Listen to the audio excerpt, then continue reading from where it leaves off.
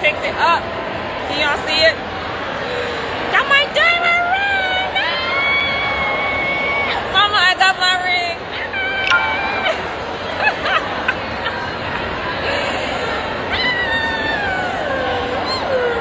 I'm so excited. I'm so excited. Oh my gosh. Y'all, listen, I'm just acting silly. But um, thank you so much to all of you, to those of you who supported me throughout the last seminar year. Mama, we did it. Listen, you guys, my mom is my number one support. If it wasn't for her, I don't, because she, you know, I was able to work my business as hard as I was able to do it because she was there to support me, you know, with my kids, you know, with her grandbabies, so I could work my business. You know what I'm saying? So, Mama, thank you. This ring is for you, Mama. You are the queen of my heart. You are the queen of my world. And I am so blessed to have you. I want to cry right now.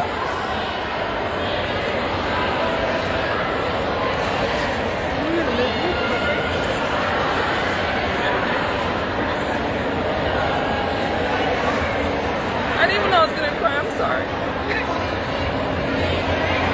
Thank you, Mama. Thank you for your support. Thank you for everything. This I dedicate to you, Mama. Thank you so much. And thank you, Josh. He's also, he's a wonderful man, wonderful husband. Thank you to my kids. I didn't know I get emotional, but thank you to everyone who supported my business one way or the other by hosting a party for me or shopping with me, you know what I mean?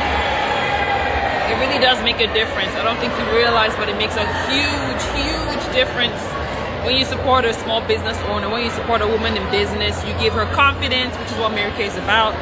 Um, you help build her confidence. Like you have no idea, you know, what it does because it means a lot to us.